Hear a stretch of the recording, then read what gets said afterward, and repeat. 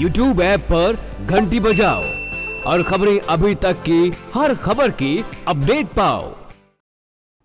और इसी कड़ी में बबीता फोगाट का भी नाम आता है। हालाँकि उन्होंने सिल्वर मेडल जीता है, वो चूक गई हैं, सोना लेने से, लेकिन फिर भी उन्होंने अपने जो खेल है वो बेहतर तरीके से दिखाने की कोशिश की थी। फाइनल था 12 बजे फाइनल शुरू हुआ था और कुश्ती में जो है गीता फोगाट ने, माफ़ कीजिएगा, बबीता फोगाट ने सिल्वर मेडल अपने नाम किया है और 21वें कॉमनवेल्थ गेम्स में उन्होंने कोशिश तो भरपूर की थी लेकिन जो कनाडा की खिलाड़ी थी आ, उनका दाव उल्टा पड़ा।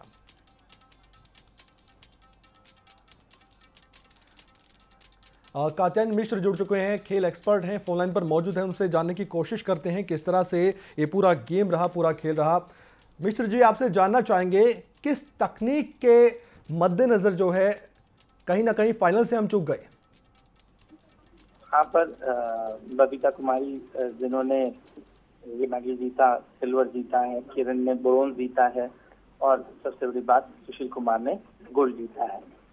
तो ये खेल है चलते रहते हैं पिछली बार उन्होंने गोल्ड जीता था और इस बार वो सिल्वर जीत पाई है। जी।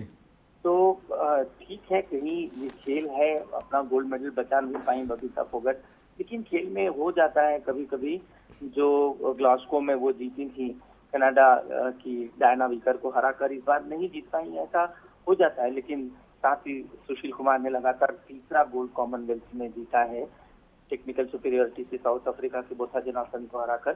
तो बहुत ही बढ़िया परफॉर्मेंस होगा और बड़ी प्रसन्नता का विषय है कि ये हमारा लगभग चौदहवा गोल्ड मेडल है यहाँ पर। तो बड़ा बड़े ही खुशी की बात है।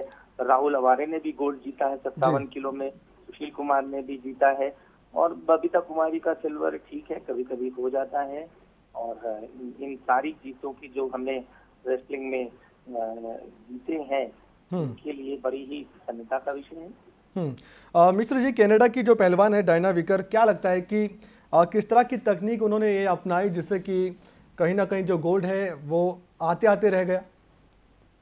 देखिए जो डायना विकर है मुझे लगता है कि वो बबीता फोगट से ज़्यादा स्ट्रॉन्ग खिलाड़ी हैं और ज़्यादा मज़बूत भी लगती है।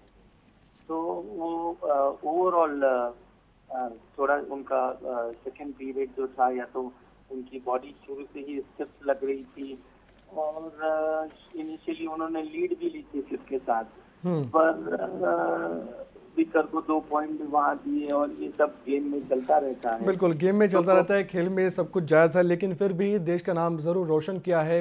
बबीता फोगाट ने जैसा कि वो हमेशा अपने खेल से प्रभावित करती रहती हैं। बहुत बहुत शुक्रिया। मिश्र आप जुड़े और आपने तमाम जो जानकारी इस खेल को लेकर दी है।